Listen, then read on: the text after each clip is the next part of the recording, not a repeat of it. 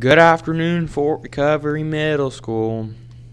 Today is Thursday, September 24th, 2020. Meetings? None. Sports. Any 7th or 8th grade girl interested in playing basketball will meet this Thursday at 12:50 p.m. in the locker room hallway with Coach Gerlach. The junior high volleyball teams will play St. Henry at home today in the high school gym. Good luck, ladies. The junior high football teams will play Versailles at home today. Good luck, gentlemen and cheerleaders. Attention, sixth grade girls interested in playing basketball. There will be a camp every Saturday in October from 10 to 11:30 a.m. in the middle school gym. Forms are in the middle school office. Registration deadline is September 30th.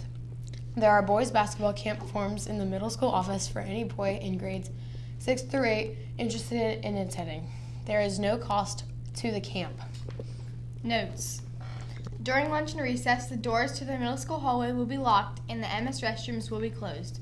Students will need to use the restrooms on Main Street during lunch. Lunch boxes can be put on the table where the band instruments are. You can pick them up when you head to your fifth period class.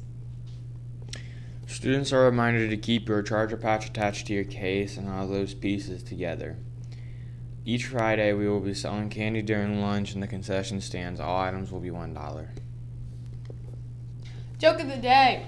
How do you tell if a vampire is sick? By how much he is coughing.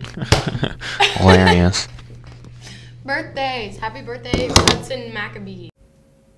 Now please stand for the Pledge of Allegiance. I pledge allegiance